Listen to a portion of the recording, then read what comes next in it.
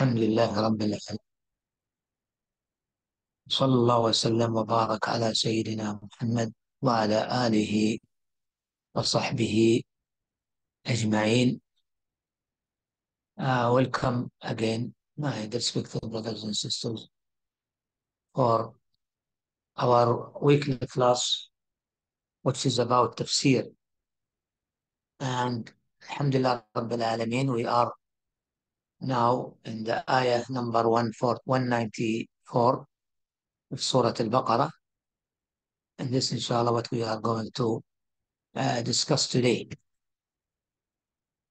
قال سبحانه وتعالى الشهر الحرام بالشهر الحرام والحرمات قصاص.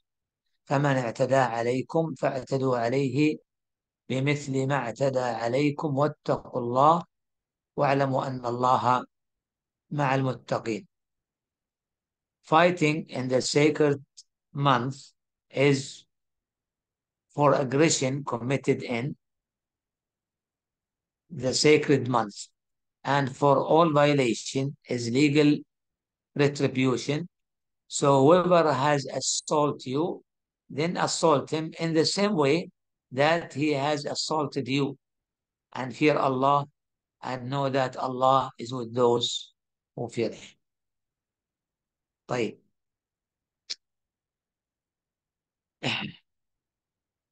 Talking about this ayah,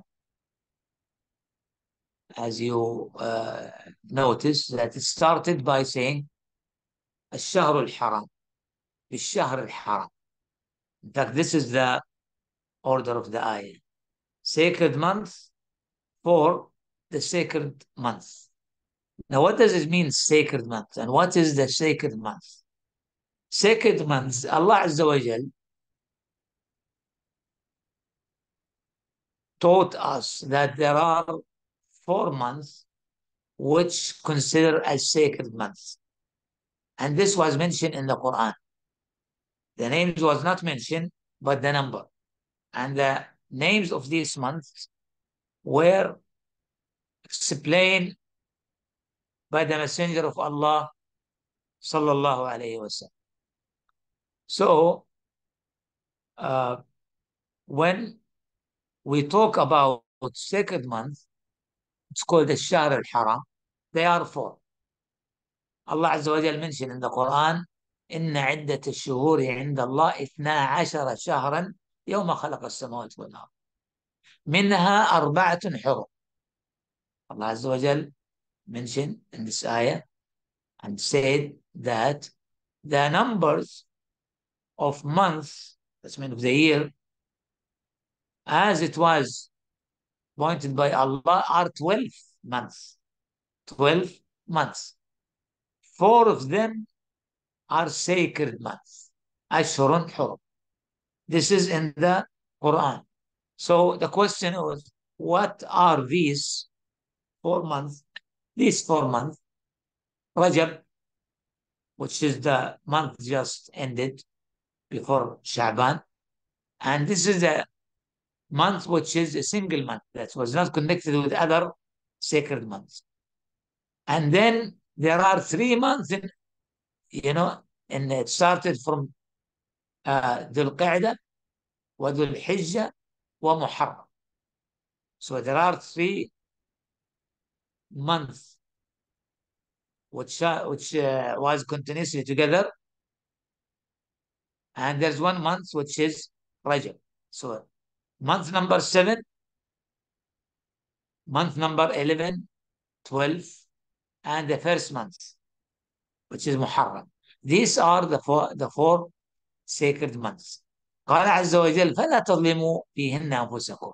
Then you should not wrong or do wrong against yourself. By what? By committing sin. Which means this time is very important that the Muslim should take good care of this time so he stay away from uh, committing any sin. We know that the Muslim is commanded to stay away from all sin, but in this specific four months, then he should be more cautious. Right. Now go back to the ayah. So the ayah said that if the disbelievers started aggression against you, started fighting against you, then also, and they for for sure they uh, you know break the uh, sacred month. They violated this, but then you have the right to fight them. So it is, which means that the fighting in this sacred month is forbidden. It's not allowed. Same as we mentioned about Al-Masjid Al-Haram, the Grand Mosque of Makkah. Al-Masjid Al-Haram, the sacred house of Allah Azza wa Jal in which we said and we discussed before that it is forbidden to fight or to kill in Makkah, in the Haram. But Allah Azza wa Jal, as we discussed before, if there was aggression, there was assault, there was a group who make violence in the Masjid Haram, then there is permission for you to fight them back. The same thing for الشهر الحرام for the month الحرام and then Allah Azza wa Jalla said والحرمات قصاص And for violation is illegal retributions or said tranquility and this means that for any aggression for any aggression for any assault there will be payback or revenge in the same level, the same thing, not more, not more. So this is an ayah which uh, give or which say the Muslim have the right to retaliate against any aggression in the same way. In the same way. So this is uh, the point uh, in this al-hurumatu qisas. What does it mean hurumat? Anything which is not lawful from hurma, which is haram, hurumat plural, anything which was done in violation, like for example, taking your money, somebody hit somebody and took his eyes or his tooth, or he cut his hand, or he injured him, then the court or the judge will may make judgment which is equal to the same uh, aggression that was uh, happened to this uh, person. So Allah subhanahu wa ta'ala, the reason why this ayah was revealed as uh, mentioned by some scholars, uh, because the Prophet sallallahu alayhi wasallam in the sixth year of Al-Hijrah, that's mean year number six, he went with his Sahaba, with his companions, to perform Umrah. They were not, you know, they didn't went to Mecca for fighting. They were in the state of Ihram. They just took some weapon that, you know, to defend uh, themselves, like swords, like arrows. Uh, he didn't went there with huge army for fighting. And it was in Dhul Qaeda. And as we said, Dhul Qaeda is one of the sacred months.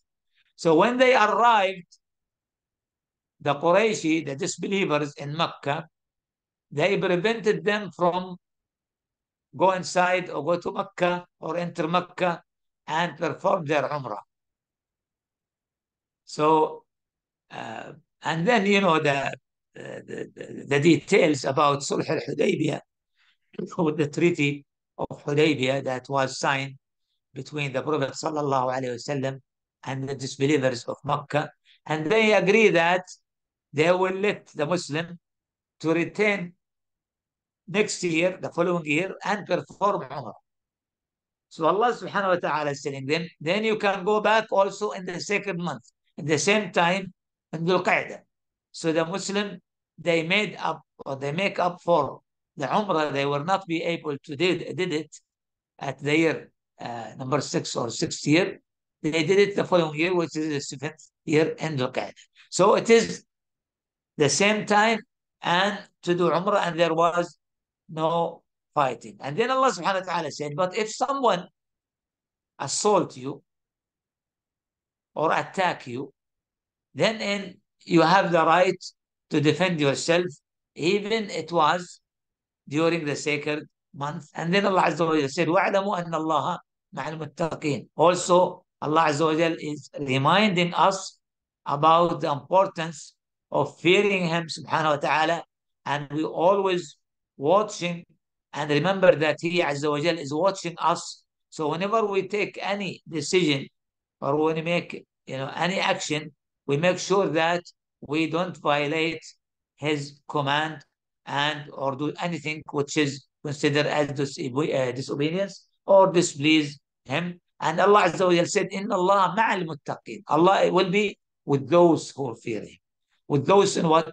With those, I mean, who fear Him, who obey Him, who uh, respond to His command, who stay away from whatever He made haram or prohibited.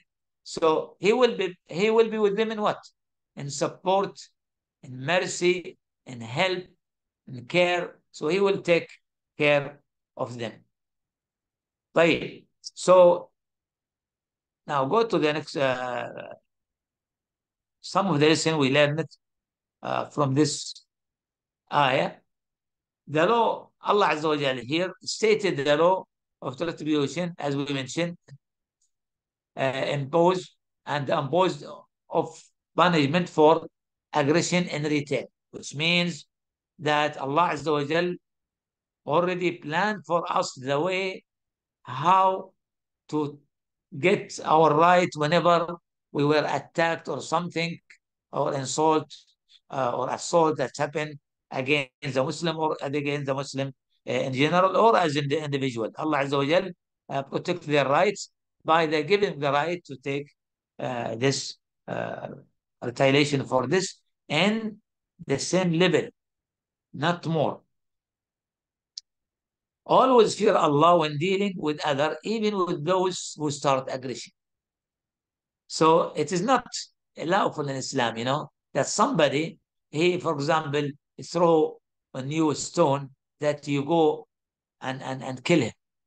Or uh, maybe uh, you hit him with something that may make him uh, disabled. So uh, should be just even the, uh, dealing with those that uh, they start an aggression against you. Confirming that Allah will be with those who have taqwa. And as we said, taqwa, in fact, is uh, the way for all uh, goodness. The next ayah, وأنفقوا في سبيل الله ولا تلقوا بأيديكم إلى التهلكة وأحسنوا إن الله يحب المحسنين. And spend in the way of Allah and do not do not kill or throw yourself with your own hands into destruction. And do good. Indeed allah loves the doers of good. As we mentioned before uh, allah subhanahu wa ta'ala is very merciful and always he reminds us not to do anything bad against ourselves either by doing or committing sins or by hurting ourselves or our life or put it in danger. And this is why Allah Azza wa Jalla said, uh, don't uh, throw yourself in destruction. This is why it is forbidden for a Muslim to kill himself or do anything which may harm him. Like, for example, those who are taking drugs and these drugs may uh, kill them. This is forbidden. And that's mean they, in fact, they are the one who cause the destruction for themselves, for their life, because of not following the command of Allah subhanahu wa ta'ala and by doing uh, this. So, this ayah, وَأَنفِقُوا and spend. So what's the relation between, he said, spend in the way of Allah, fi sabilillah, and don't throw yourself in destruction. Spending in the cause of Allah, that's mean in fighting. In the jihad, when the Muslim are in fighting with uh, the disbelievers or to defend their country or uh, to help uh, some uh, oppressed people. They cannot become Muslim because of uh, some arrogance. They are controlling them. In all cases,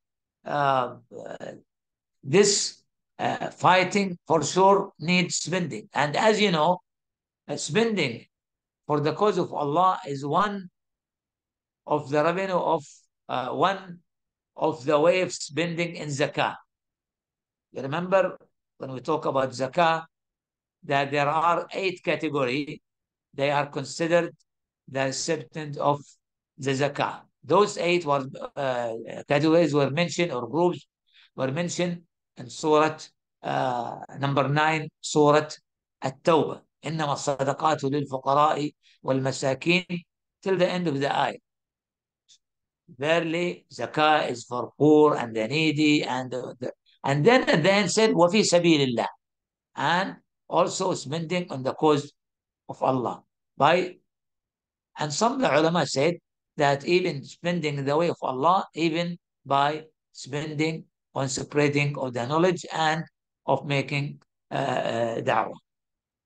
And then Allah subhanahu wa ta'ala said, وَأَحْسِنُوا إِنَّ اللَّهَ يُحِبُّ الْمُحْسِنِينَ أحسنوا that means be good, be nice. Do good for whom? For the creation, for people, for others. Doesn't matter who is he, even your enemy, even somebody is not a Muslim.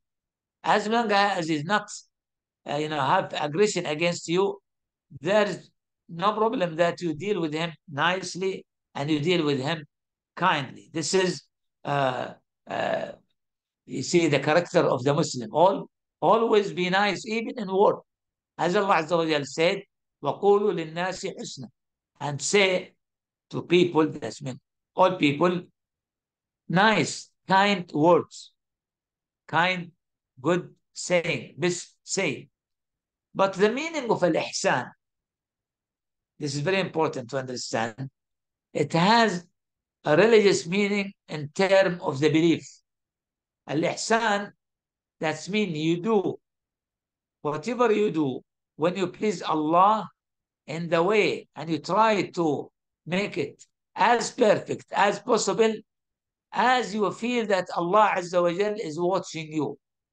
And this was explained, you remember, in Hadith Jibreel alayhi salam, when he came to the Prophet sallallahu alayhi wasallam and asked him about al-Iman, wal-Islam, wal-Ihsan. He asked him about Iman, what does it mean? Islam, what does it mean? And Ihsan. So relate to our subject, al-Ihsan. What did Jibreel alayhi salam uh, told the Prophet sallallahu alayhi wasallam about the meaning of al-Ihsan? Uh, the answer of the Prophet sallallahu alayhi wasallam for the question of Jibreel alayhi salam. When he asked him, wal-Ihsan, how about Ihsan? He said, الإحسان أنك تعبد الله كأنك تراه فإن لم تكن تراه فإنه يراه The meaning of ihsan that you worship Allah as you in reality seeing him but if you don't see him and this is the fact that we don't see Allah then remember that he is seeing you so the feeling of the Muslim the believer that Allah subhanahu wa ta'ala is watching him and nothing hidden from him for sure will make him control his action, control his saying, and make sure that he doesn't do anything which is may displease Allah subhanahu wa ta'ala. طيب. Uh, the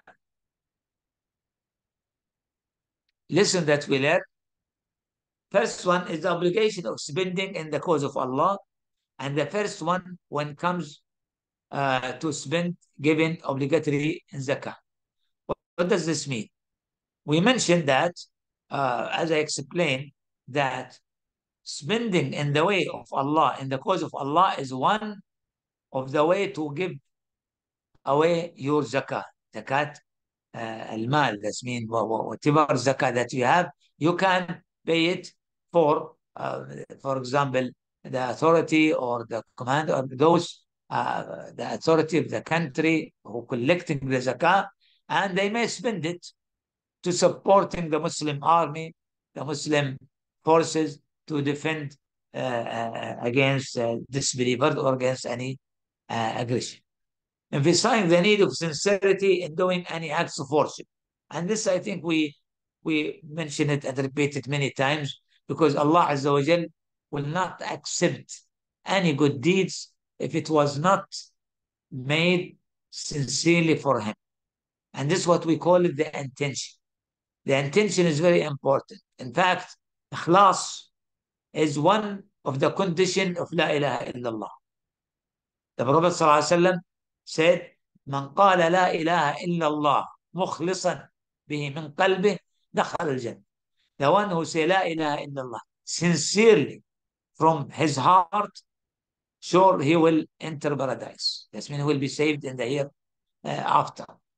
So ikhlas, this is the intention that we always need to recall and remember whenever we do anything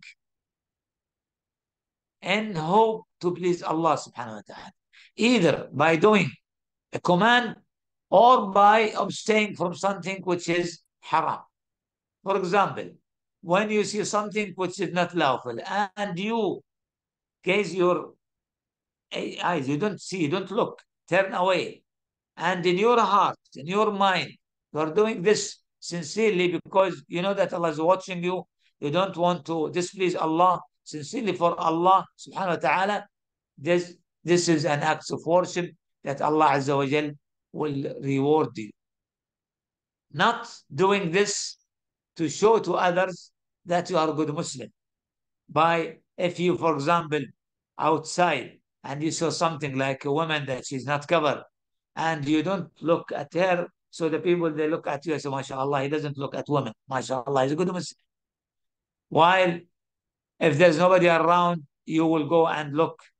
No, this is the point of ikhlas that we should always remember it whenever we do any acts of ibadah or even to stay away from anything which is, uh, you know, forbidden. You know, this is one also of the conditions of accepting any acts of ibadah. We mentioned this before.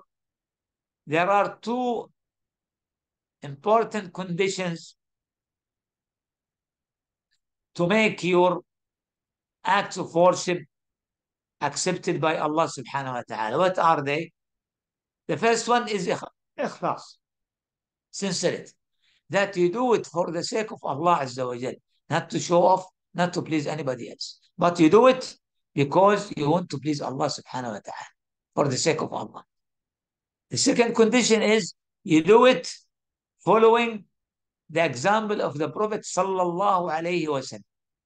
So a person, even if it's sincerely devoted to do prayer for the sake of Allah, but he didn't do it following the Sunnah, he created prayer from his own, then it will not be accepted, will be rejected. So the first condition is Islam that cover all acts of ibadat, but there are two important conditions that should be met for any acts of ibadah to, to be accepted by Allah Azza wa. And this, as, uh, as we mentioned, ikhlas first, sincerity, and then following the example of the Prophet prohibiting anything that may lead to destroying oneself. As we mentioned, something maybe it is halal, it is lawful. But if the doctor told you that if you take or you this food or eat this drink, it will may cause you an asthma that may kill you. Then this type of drink or food become forbidden for you. Why? Because this way that may lead to your destruction. This is why for the Muslim, even in Ramadan, we mentioned this in Ramadan. If the Muslim, the, the, the, the doctor told a person who was sick, maybe have some heart problems, and he told him you should take this medicine every three or four hours. Don't stop. If you stop, then your case will get in very critical situation that may kill you. Then even fasting for you, which is must. In Ramadan, it's become now not lawful for you to fast. Why? Because this may lead to your destruction, to your death. So look to the mercy of Allah subhanahu wa ta'ala. And there's other ayah, Allah Azza wa said, وَلَا تَقْتُلُوا أَنفُسَكُمْ and don't kill your, yourself. Anything that may harm uh, health is forbidden because it leads, I think this is the same as the previous point. We already explained it. the virtue of ihsan as Allah loves those who do it. So if you have ihsan, that means you uh, be loved by Allah Azza wa Jal subhanahu wa ta'ala. And what this is the, in fact, the main goal, in fact, for every Muslim, hope that every Muslim that he wish and work hard to get the love of Allah Azza wa Jal. As you remember in the hadith, uh, Al-Qudsi, ولا يزال عبدي يتقرب إلي بالنوافل حتى أحبه. Still my servant pleasing me more and more with optional ibadat, optional acts of worship.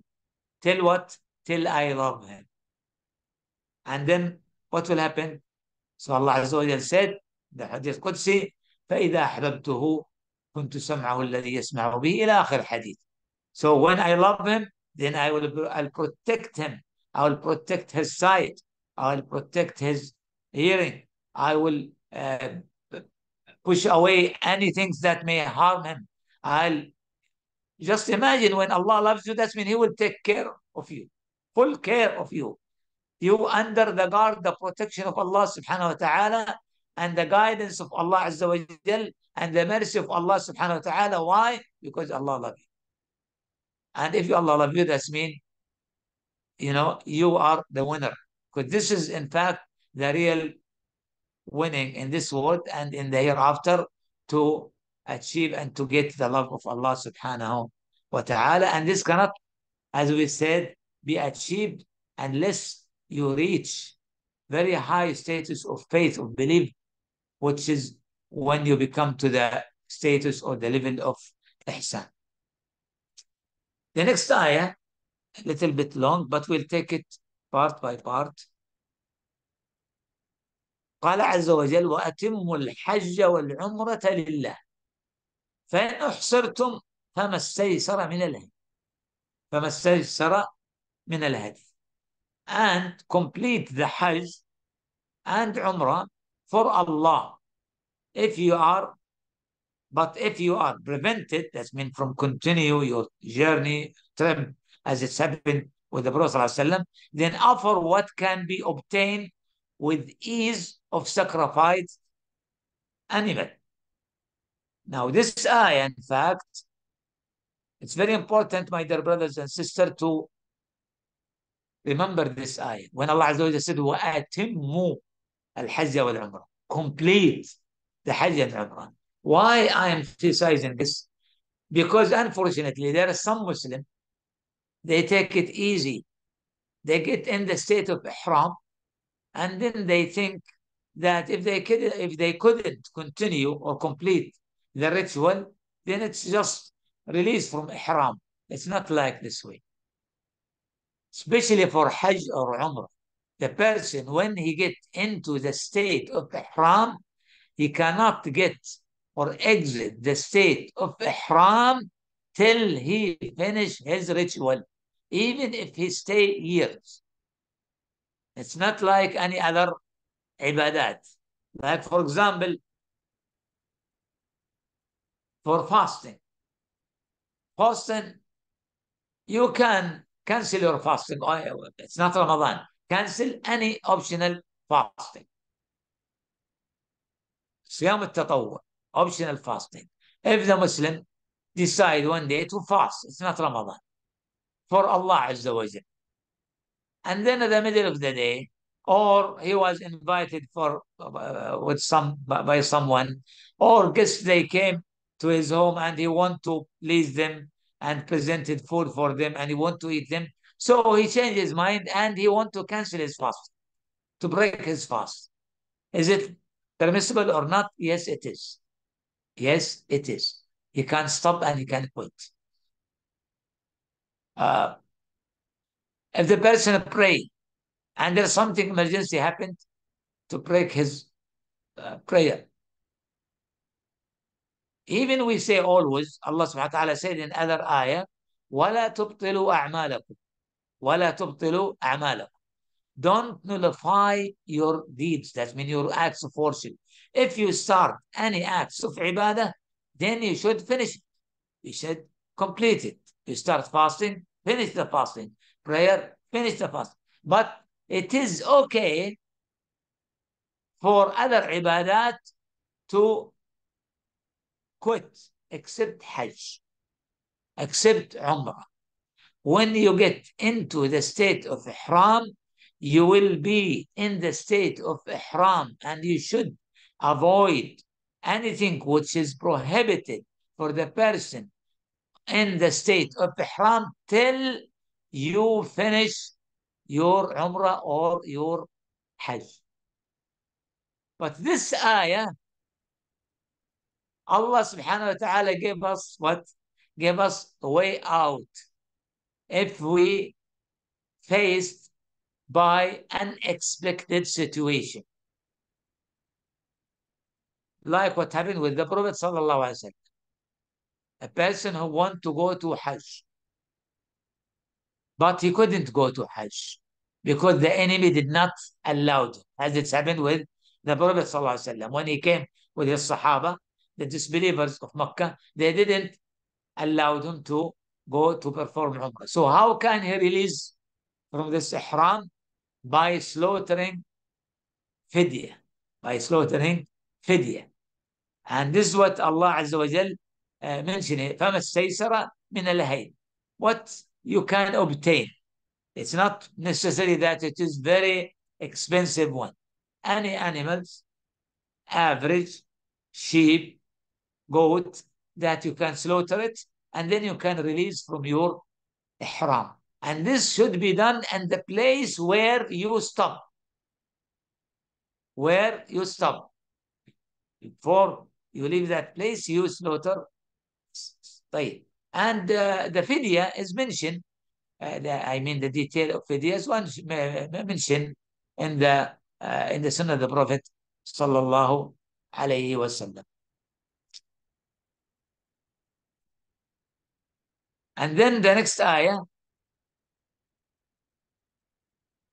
ولا تحلقوا رؤوسكم حتى يبلغ الهدي محله and do not shave your heads until the sacrifice uh, the sacrificial animal has reached its place of slaughter.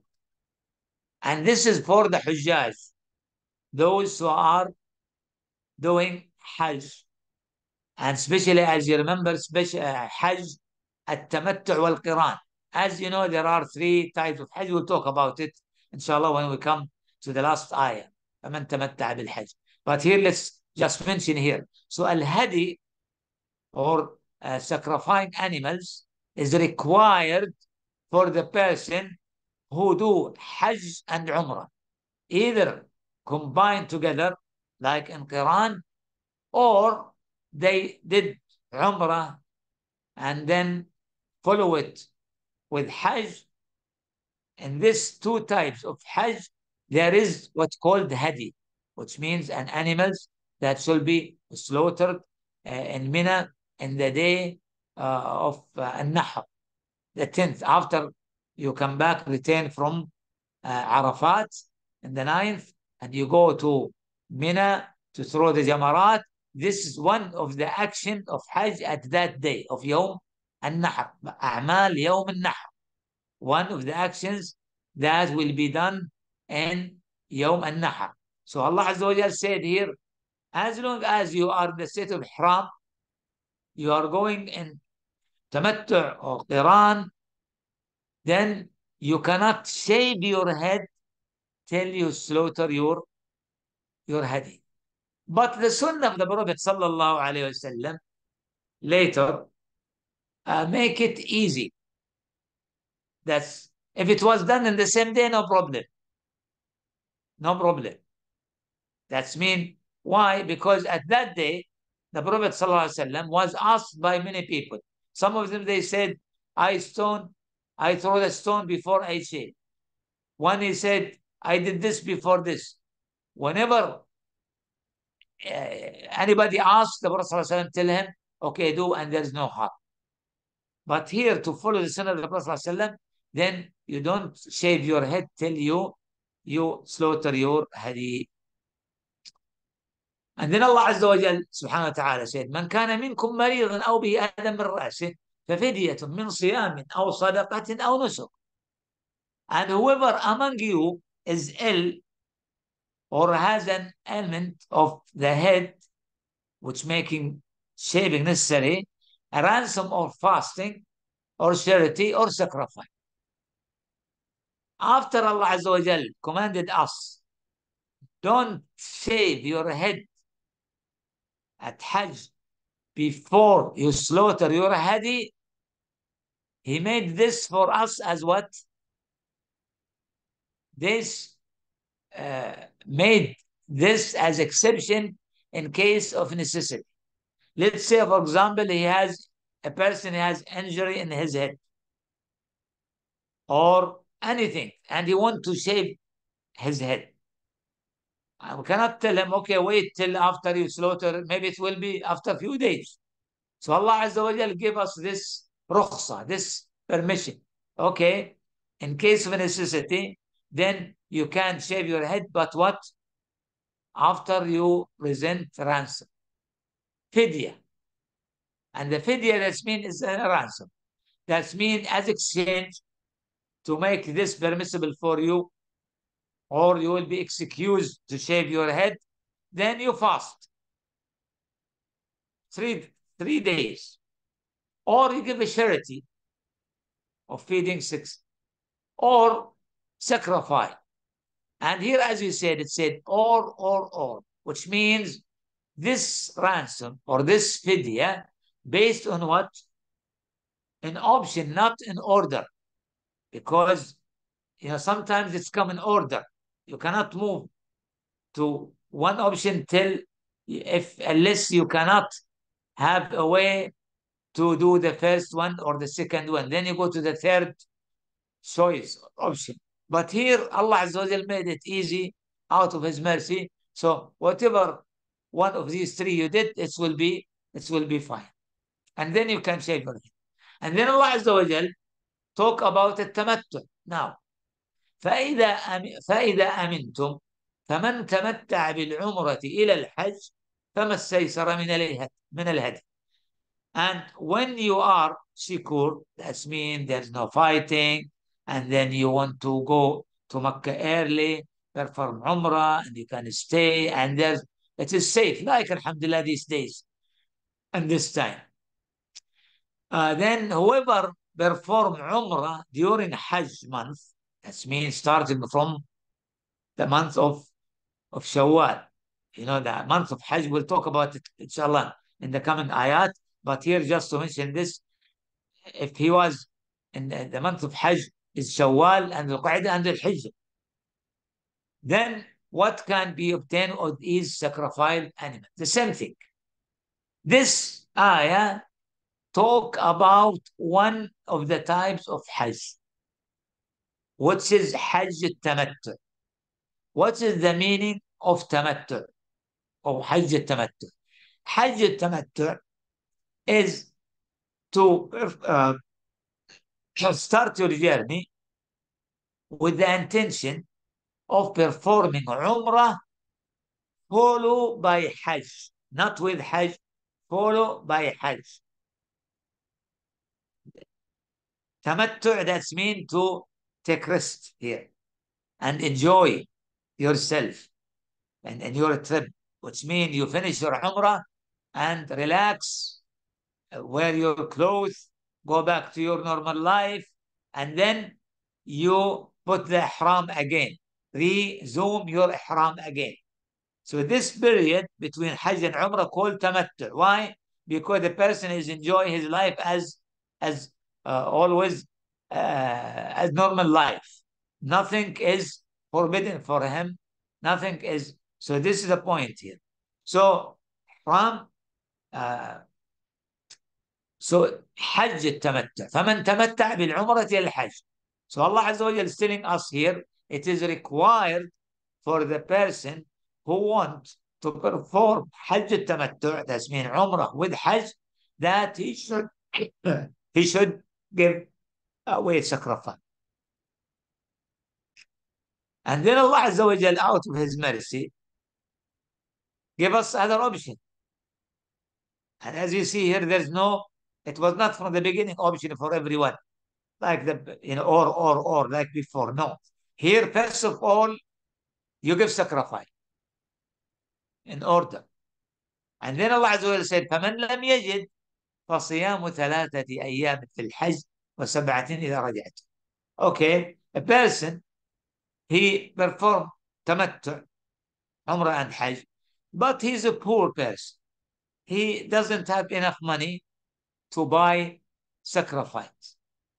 Then he can move to the next option, which fasting three days during Hajj and then seven days when he returned to his home. And here I just would like to point out very important matter because I notice, I notice, you know, when we go to Hajj with some uh, brothers to Hajj, they go to this option and they are able to buy the sacrifice. If you able, I mean, you have good income, you have enough income that you can buy this sacrifice, this animal for sacrifice, then it's not lawful for you to go and move to this option. This is only for the person who is in need, who is poor, who cannot afford this uh, uh, money that will get him uh, animals, you know, especially if these uh, animals, you know, th their prices uh, went very high and became very expensive. So this is the option that you go to it if you don't have enough uh, uh, money uh, to pay for uh, for this uh, sacrifice. Allah Azza wa said, تلك عشرة كاملة. That's mean by fasting three days in during the Hajj time, which means, you know, you can start it for sure. Yom al-Nahar, it's not lawful fast the 10th because it is the day of Eid, but you can fast, for example, uh, the day uh, Arafah, you can uh, fast uh, the day, the 11th, the 12th, the 13th, Yom al-Tashriq. It's okay, but not the day of al, uh, the day of al-Nahar. Even Ayam al-Tashriq, it is forbidden for anybody outside Makkah. He's not uh, fasting for the purpose of paying ransom for his Umrah. The same, the ulama say, uh, so uh, also they said it's not lawful to fast. طيب قال عز وجل لمن كان لمن يحضري المسجد الحرام. So if you are not of the people of Makkah, you are not living in Makkah, you came from some place, then just fast only three days. And then when you go home, you can make up the seven days later at any time of your life. طيب then Allah Azza wa reminded us by saying واتقوا الله and fear Allah and reminding us and he said know that Allah is severe and penalty so you should fear Allah because Allah Azza wa His punishment is very severe and not one not everyone can طيب uh, listen we learn it from this uh, great ayah the obligation of completing Hajj and Umrah once one has started them. As we said, it is not lawful for the person who start in this, the state of Ihram to release from his Ihram till he finish the whole Umrah or Hajj. Unless, as we said, if there is necessity, he couldn't, he couldn't complete his, his Hajj and this will come in. The importance of sincerity in performing Hajj and Umrah and all types The permissibility of discontinue, that's mean exit. Uh, to, here's the, the point. Here is the exception. To exit from Hajj or Umrah in case of inability to finish them. Um, ulama have different views re, uh, regarding this. Is it because of any reason or if it was because the enemy will not allow you to go and perform Hajj.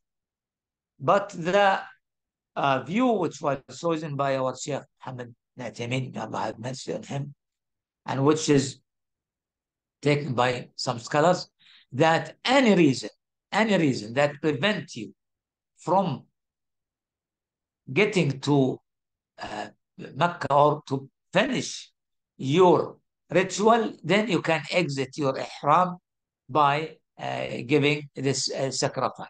Like, for example, a person who was driving his car or he was in his trip and there, there was accident and he's in the state of ihram and he cannot continue because he will be hospitalized in the hospital. In this way, he can uh, release or exit from the state of ihram, but by uh, giving uh, a sacrifice. But the Prophet wasallam taught us that those who are expecting, who are expecting, they may not be able to continue their uh, ritual. It is recommended to say this or to mention this at the time of the niyyah, the intention. So the, when the person uh, want to perform Umrah and he is an old person or he is sick person that he at any minutes or at any time maybe his his, his health will will drop down he will will be uh, more sick he doesn't uh, you know have the ability to continue what should he do he should make condition what is this condition by saying oh allah I intend to perform Hajj or perform Umrah. But if anything happened to me, preventing me from continue my ritual, then I will release at that point.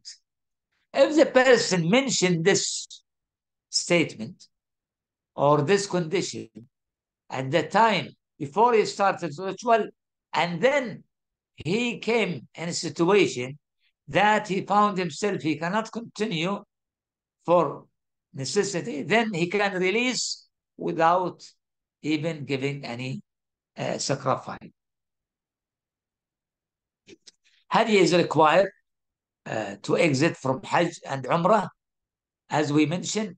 But if the person made this dua, uh, which is, uh, you know, putting, uh, putting the condition that he may release if he couldn't finish his ritual, then there is no sacrifice required from him.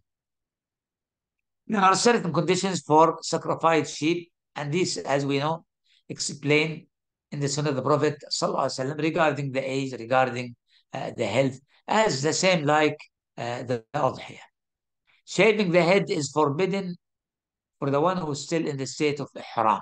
This is very important. Why? Because this is, for cutting any of the hair, this is one of the mahdurat al-ihram, prohibited actions while the person in the state of ihram.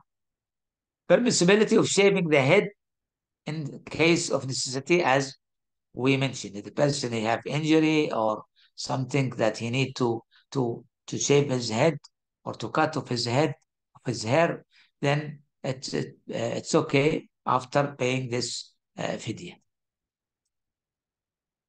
And this is the point that you know uh, here I highlight we highlighted so you understand that uh, there are two ways whenever giving fidya. But this fidya that was mentioned in uh, in shaving is based on one's choice between the option and not based on the particular order as it was on what? On exiting the state of ihram. And exiting the state of ihram, uh, uh, sorry, and the, uh, and, and, and, and the way uh, of giving sacrifice for tamattu or qiran, it's based on order, on particular order. First of all, you should give sacrifice, I mean, slaughter an animal.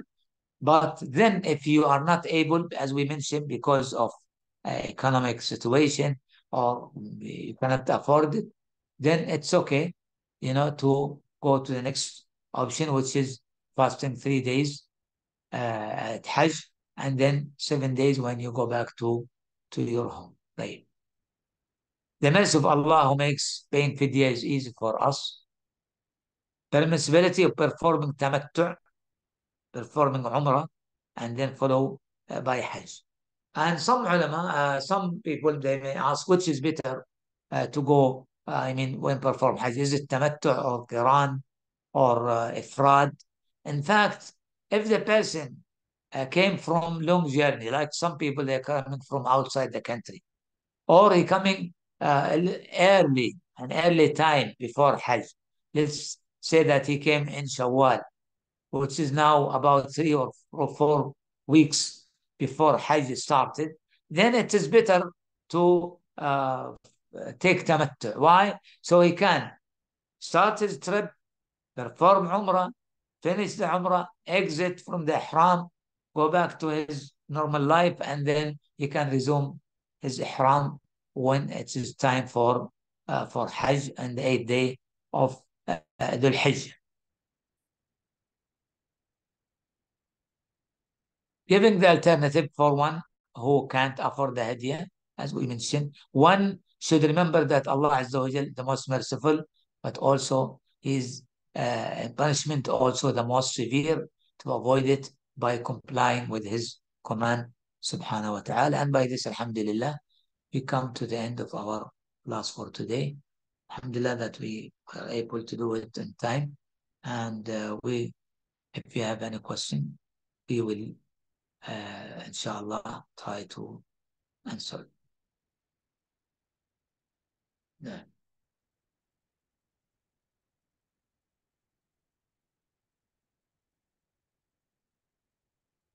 Any questions?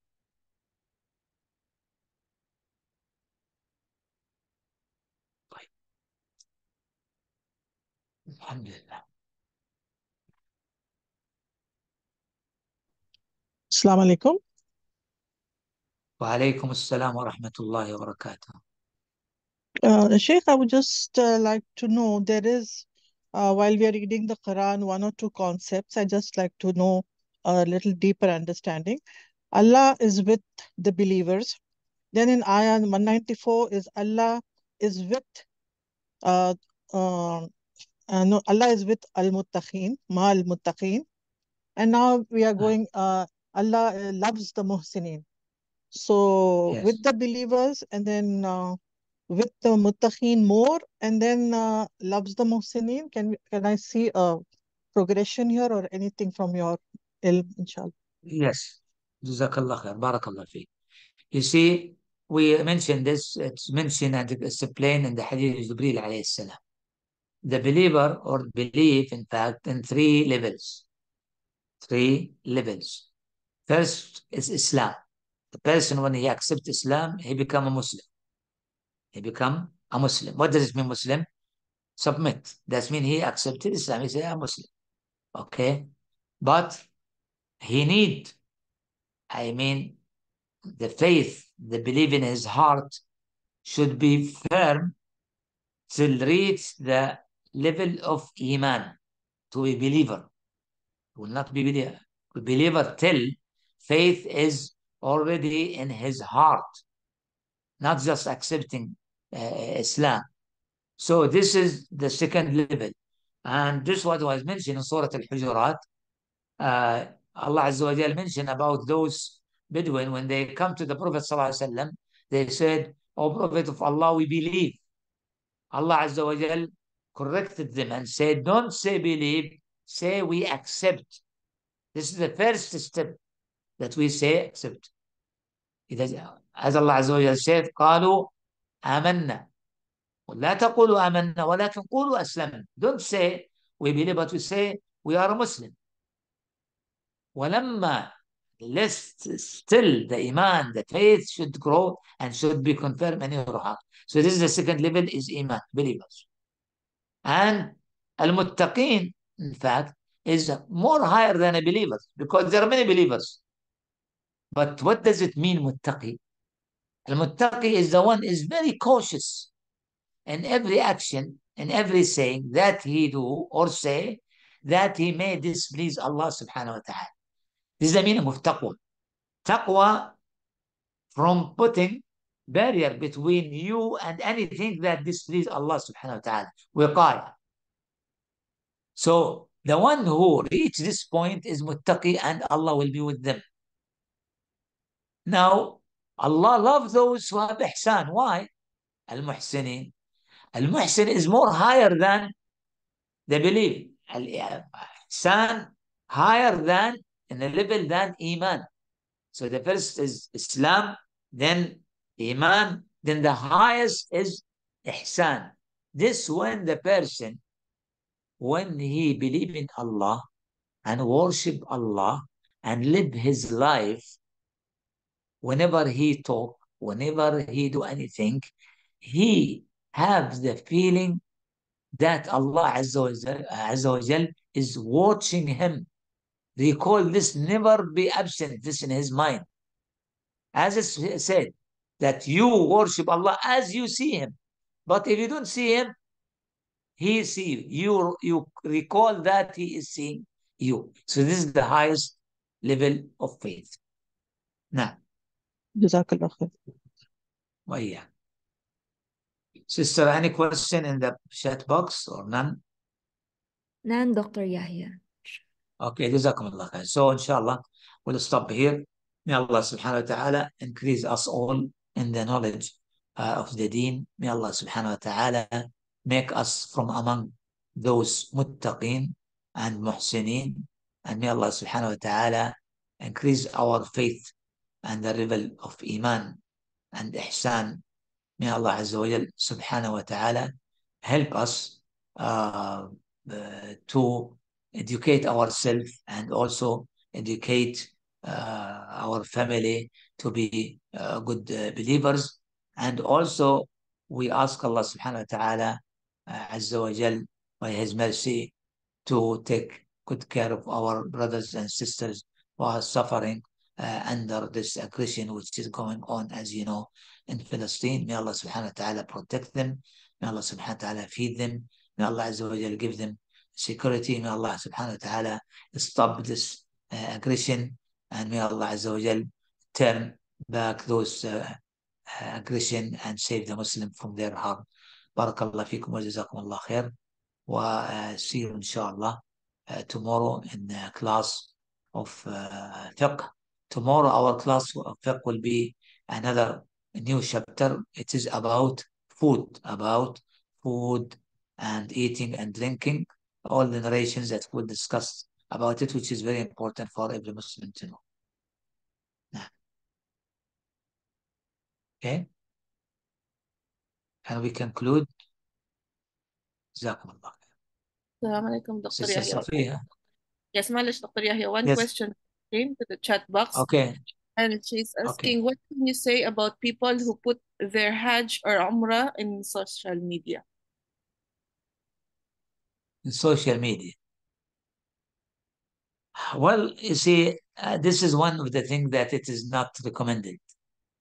But we cannot judge all people under one category because when we talk about intention, the only one who knows the intention of the person is Allah subhanahu wa ta'ala. What is the intention of this person when he make photos of himself or, or, or he made video when he was in Hajj?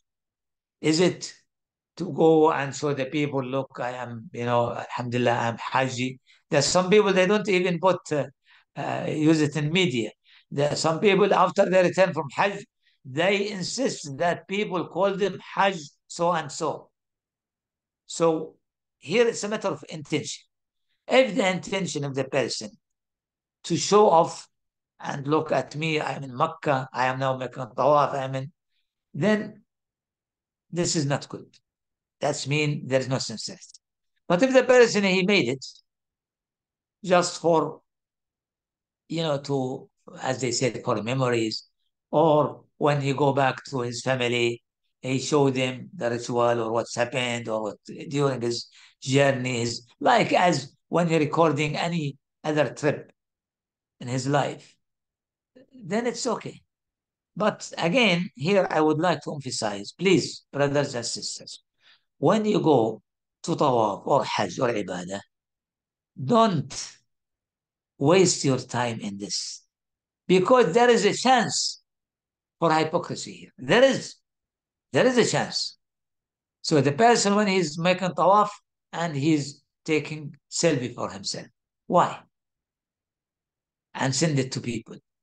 Or look, I am in, in Makkah. Now I am in it's not it's not good Because this is if it not if it's not uh, you know hypocrisy, at least this is a way that may pave the way so the person will may not find the real meaning or feeling of sincerity in his in his acts of worship. طيب جزاكم الله خير see you inshallah tomorrow in our fiqh class والسلام عليكم ورحمة الله وبركاته